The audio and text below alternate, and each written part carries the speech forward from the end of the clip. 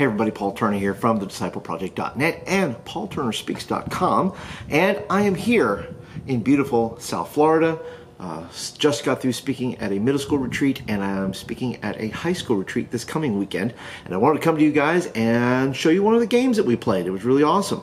And it is called Alaskan Baseball. Now, before I show you that though, I do want to remind you that there is still time to get in on two things. Number one, you can still have your best year of youth ministry ever. If you still want to get the 2019 Youth Ministry Playbook, there'll be a link down below, and I'll link up a video here where you can actually watch the video to say, what is a Youth Ministry Playbook, Paul? And the second thing is this I still have room in my Ministry Mind coaching group. Had an awesome time with our with our folks last night, and uh, would love for you to check it out and be a part. Uh, I'll also put a link up here where you can check out what is all involved with that, and links down in the doobly doo below. So let us now get on to Alaskan baseball. Let me show you a clip, and then we'll break it down.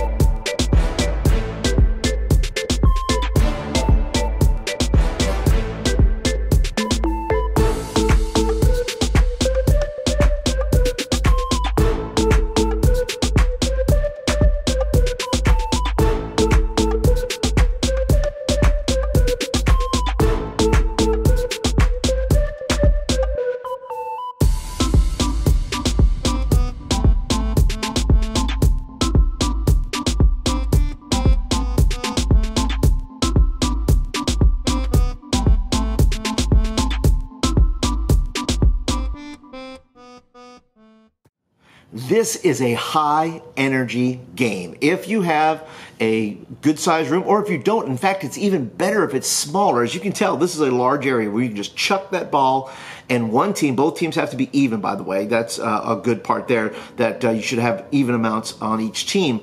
Um, the team that throws the ball, uh, they throw it, and their job, once they throw it, is the person who throws it stands in the middle and goes around the group and they have to say each person's name. This is a great get to know you game because they have to say each person's name going around. Now, every time they go around and say the person's name, they get a point. So once it goes full circle, point.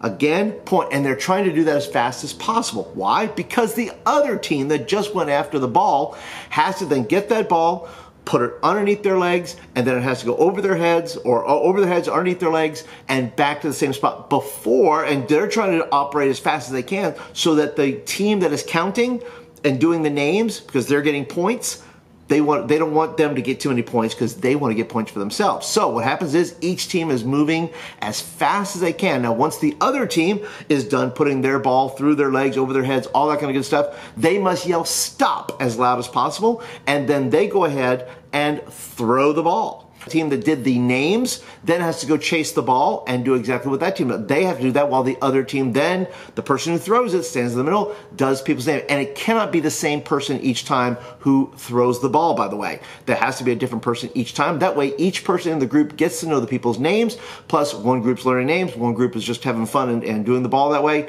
And it really becomes a high energy, but also a great connecting game that you can play with your students. If you have questions or anything like that, please go ahead and ask them down in the comments down below. But I want to thank you guys for joining me today a little bit for this uh, video on how to play Alaskan basketball. I do love camp. I do love uh, speaking at retreats. And if you are interested in all, I would love to come speak at your camp retreat if you'd like. Uh, I do have some information down below. You can check it out down there.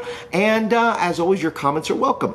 Uh, so also, if you're brand spanking new to the channel, thanks for hanging out. I appreciate you guys being a part, but I would love for you to be a subscriber. Go ahead and hit the subscribe button, which could be up over here or at the end of the video or the link down below there. And just hit the subscribe button and uh, come be a part of the community. Uh, add your voice to it, and then you'll be updated when I uh, put videos up on a regular basis.